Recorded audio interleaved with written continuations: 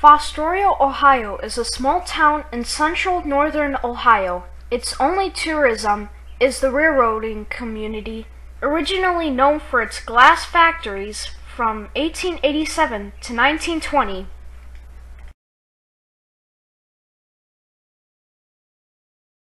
Fostoria built a rail fanning park complete with bathrooms, vending machines, benches, tables, picnic tables, and a caboose.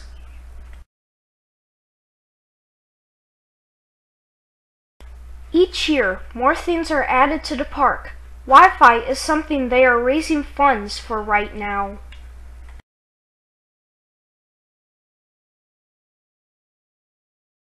There are various locations to see outside of the park. Main Street, Town Street, and Columbus Avenue are a few of them. Main Street has a diamond where the Norfolk Southern and CSX lines cross.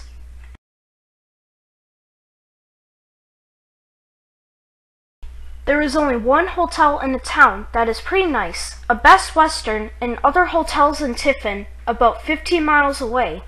You will see between 50 to 60 trains per day in Fostoria during daylight hours.